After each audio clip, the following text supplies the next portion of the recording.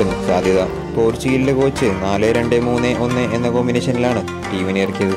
മത്സരത്തിലെ ഏക സ്ട്രൈക്കറായി ക്രിസ്ത്യാനോ റൊണാൾഡോയാണ് അദ്ദേഹം ഇറക്കിയത്. മത്സരത്തിലുടനീളവും പോർച്ചുഗലിന് സാധ്യതയുണ്ടായിരുന്നെങ്കിലും നാൽപ്പത്തിരണ്ടാം മിനിറ്റിലാണ് അവർ ആദ്യമായി ഗോളടിച്ചത് ക്യാൻസലേറ്റ് വകയെ ഒരു അസിസ്റ്റ് ലഭിച്ച ബ്രൂണോ മെൻഡസ് ആദ്യമായി പോർച്ചുഗലിന് വേണ്ടി ഗോൾ വല അനക്കി.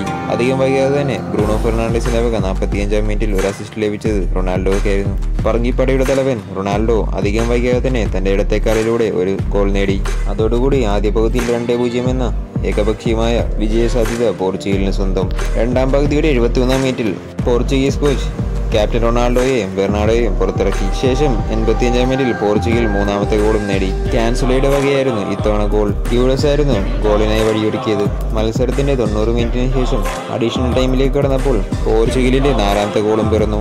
ബ്രൂണോ മെൻഡേസിന്റെ രണ്ടാമത്തെ ഗോളും. അതോടുകൂടി നാല് പൂജ്യം എന്ന ഏകപക്ഷീയമായ വിജയത്തിൽ പോർച്ചുഗീസ് ഇസ്രായേലിനെ തളച്ചു യൂറോ കപ്പ് തുടക്കമാവുന്നതോടുകൂടി ഈ വരുന്ന ചൊവ്വാഴ്ച ഹംഗറി പടയുമായിട്ടാണ് പോർച്ചുഗീസിന്റെ അടുത്ത മത്സരം. ഏറ്റവും പുതിയ ഫുട്ബോൾ വിശേഷങ്ങളായി വരാം. സോക്കർ ഫിക്സിനെ മറ്റൊരു വീഡിയോയിൽ കാണാം. എല്ലാവർക്കും ഗുഡ് ബൈ